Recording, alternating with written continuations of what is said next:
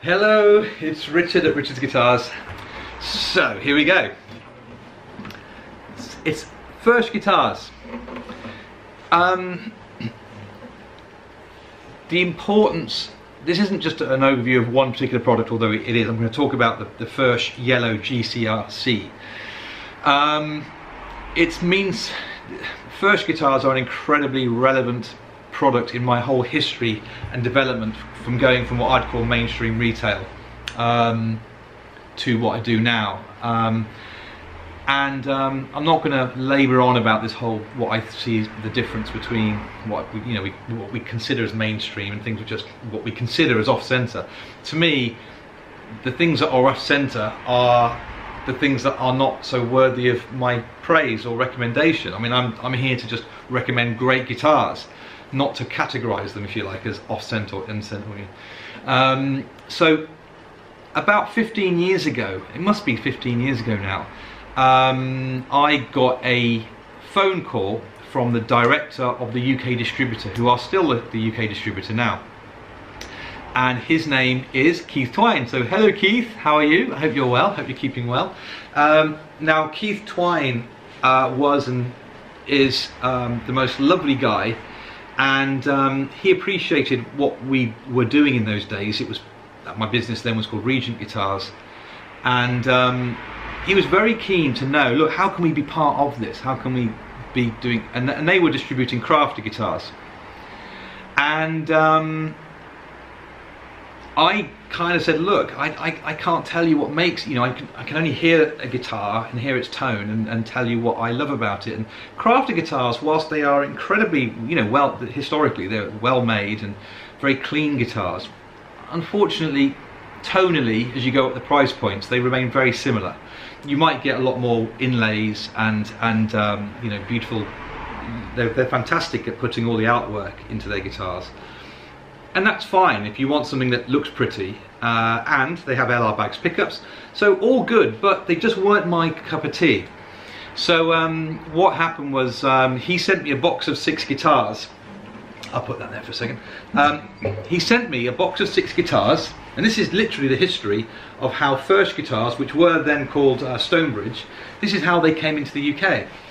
He says, Richard, I would like you to try out some guitars. They're not yet available in the UK. We've been approached by the, um, the uh, manufacturer to be their representative. Um, we've got a box here and we'd like to send them over to you and get your thoughts on them as to, you know, with a view of whether we should be doing these, whether you think it's something you would support. And, um, and hand on heart, this story remains, although I don't use it anymore, it's, it's kind of decayed really, my forum. Uh, but I, I would believe that this page still exists somewhere because I documented that day, all those years ago, I documented my thoughts and feelings on what I found. It was such a relevant day. I knew it was a massive day for me personally. Um, so what happened was, I'll, I'll never forget it, we were in my dispatch room and there was me and I picked out the first guitar.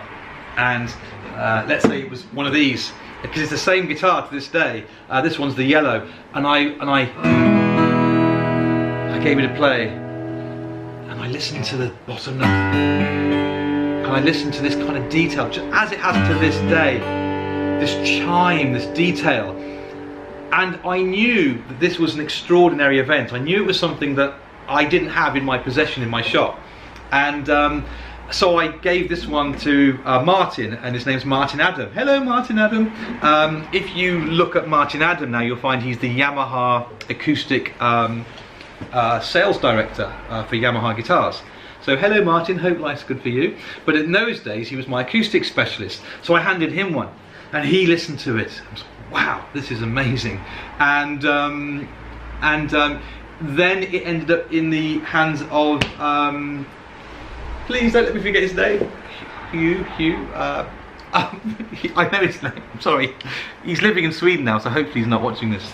Um, but um, he was my dispatch guy. No, no, what was he at the time? I think he was, uh, oh God, this is terrible. I'm terrible with names anyway. I don't want to destroy the story by forgetting someone's name, so I feel really bad now. Um, but um, it was some Hughes, Hughes. His surname was Hughes, but I forgot his first name. Sorry. But anyway, and he's a singer-songwriter, and he then went to Sweden to continue his passion for, for singing, singing songwriting.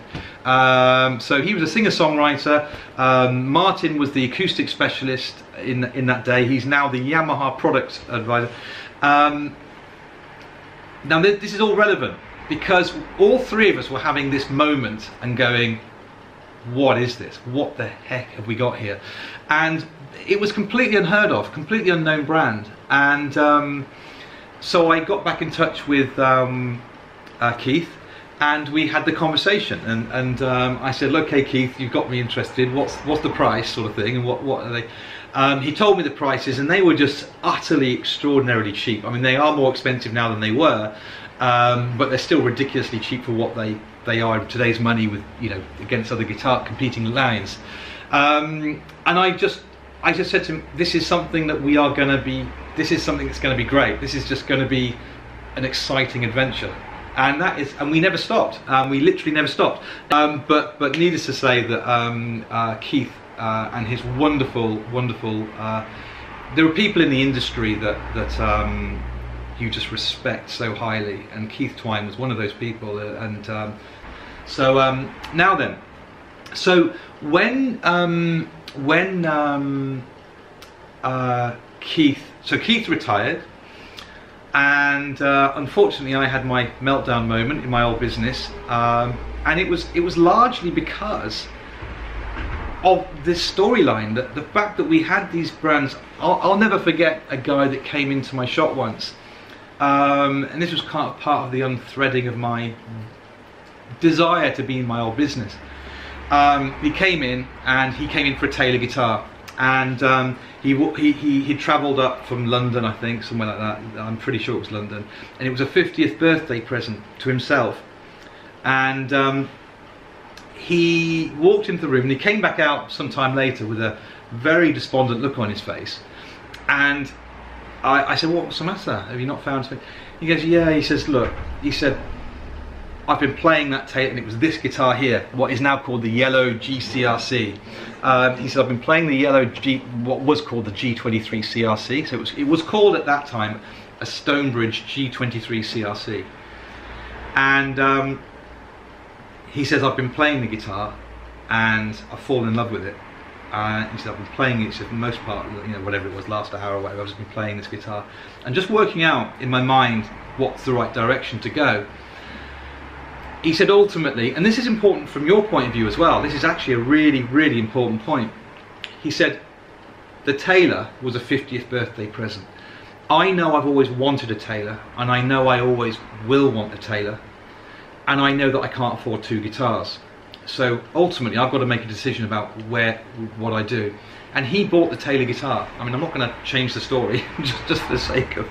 Um, he bought the Taylor guitar, and, and it was kind of like yeah, forget the financial aspect of it. It, it, it was quite, I suppose it was interesting and fascinating to hear this kind of pain that he was going through. Um, but it, but it kind of made me aware of branding and marketing. You know, it was a real, a real kind of insight into if you sell a product or if you represent a product that has such a high profile, you know, you've got to enjoy selling it. You've got to enjoy being part of that kind of process.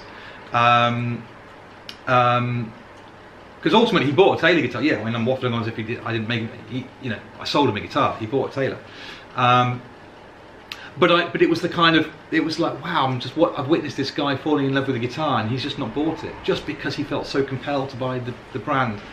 Um, so, um, what the other part of the story is, um, yeah. Now another little aspect of this is um, uh, my old um, uh, colleague Martin, uh, who Martin Adam, who went on to become the Yamaha um, director, sales product product manager, sales product director, something like that.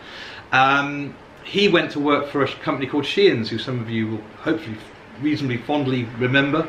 Um, they were based in Leicester, and when he went to work at Sheehan's, they introduced um, what are now called Furch guitars into their range. Now these guys were known for being the top acoustic specialists. You know, they had the Taylors, the Martins, the Takamines, the, all that kind of, all that stuff that you'd expect to see. Um, but when Martin joined, I, I will never forget, he doesn't even know how much I monitored this, but I noticed how they started doing what are now called Furch guitars in their shop. He left. He, he left to become a Yamaha guy. And when he left, they stopped selling Furch guitars. And that is gives you another. The reason why I'm mentioning this is because I think it's another important message to give to you that with any kind of shop environment, you might be given a bit of flexibility as a member of staff to bring your cards to the table, your interests and your passion. But very often that isn't allowed. And Martin clearly was given that kind of free reign to, to, to, to develop this this line within within uh, Sheehan's. Um, but as soon as he left, you need the you need someone there who understands the product because in a guitar like Sheehan's at the time or any of these big shops, unless you've got somebody there that has a passion to kind of inform and to educate and involve you in the brand, that's if you're allowed to, you'll never see brands like Furch guitars. And that is exactly what happened in, in, in Sheehan's case. Somebody with a passion came in, he obviously said, look, I really need this product. If you want me involved in your brand, your, your company brand, I'm going to need the armory, and that is a Furch guitar. And he clearly, I know the guy. I mean, if I'm misrepresenting you, Martin, if I'm misrepresenting you, Martin, I'll take the video down. Uh, so, but, but he, he, he, he had a passion for the guitars. We shared that passion. We, we, were, we were both absolutely so in love with this product. Um, but when that person then goes, this passion goes with them. And um, obviously they would have continued to sell guitars and it wouldn't have mattered to them because they'd have probably just, it's like the, the, the, everything would have just sealed up behind Martin and life would have carried on as normal, selling Taylors and Takamines and whatever else. Um, but it was lovely to see that this chap who I, I respected as a real specialist in acoustic guitars had that passion to carry on selling Furch guitars even when I closed. Um, so that was cool. So bringing it back up to speed then, because I mean I want to give you a bit of a bit, bit of a potted history. The um, as if that wasn't obvious already. Um, Stonebridge were originally um, given this name Stonebridge on the basis that um, I think it just sounded easy to the ear for the Western audience, the Western market. And the brand is called, I, you'll notice I call it Furch. Well, I, I believe that the absolute kind of, the way it should be spoken is Furch, Furch, or Furch, something like Furch. Now, I always say it sounds like I'm, when I say it, because I can't say it properly, it sounds like I'm clearing my throat rather badly. So I, um, it sounds a bit wrong when I say it. So I call it Furch, but I don't think you'll hear that many people calling it Furch. But I soften the CH, Furch. For me, it's Furch. Um, a, a, few years ago, they decided, and again, they came to, you know, the UK distributor asked me my view on it. How did I feel about them going to the original factory name rather than the, the westernized name? And I was all for it. I thought, well, you know, I'd much rather there not be the confusion around the brand. Um, when I say the confusion, I wouldn't want there to be a Furch and a Stonebridge be, um, because I haven't made that very clear. Uh, unscripted, obviously. So I'll delete that bit. They had deliberately given it this name, Stonebridge, that was acceptable to the Western ears, Western European market. However, if they were out of stock of a Stonebridge G23 CRC, the UK distributor would call them up and say, "Oh, do you have do you have one?" Well, we don't have one of those, but we do have a Furch.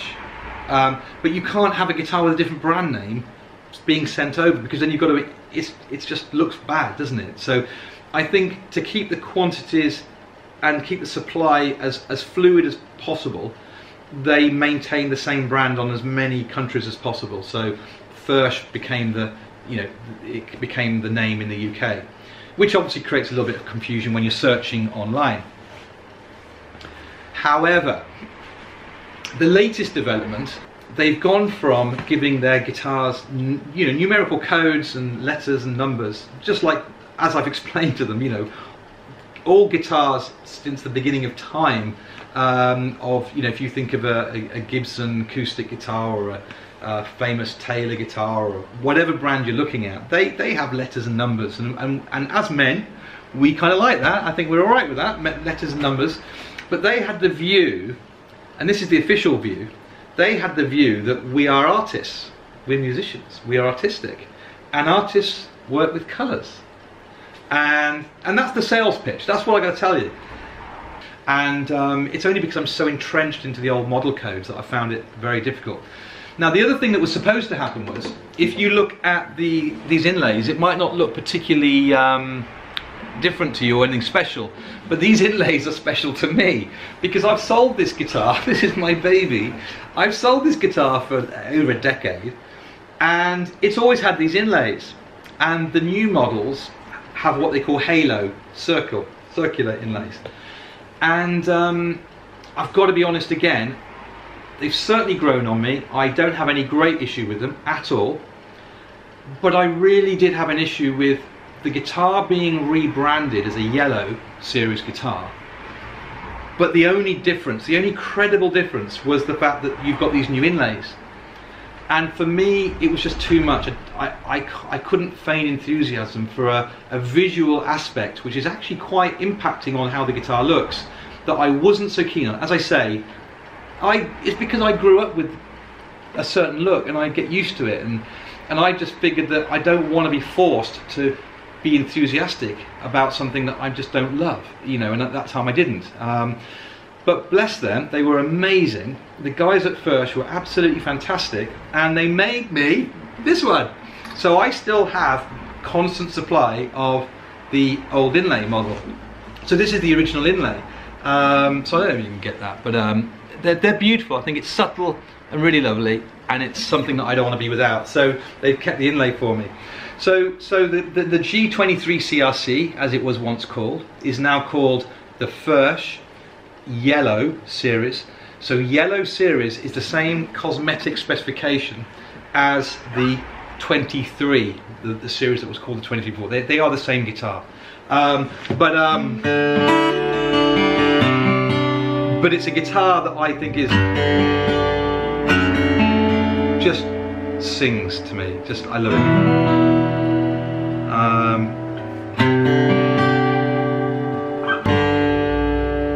To do then? I don't know.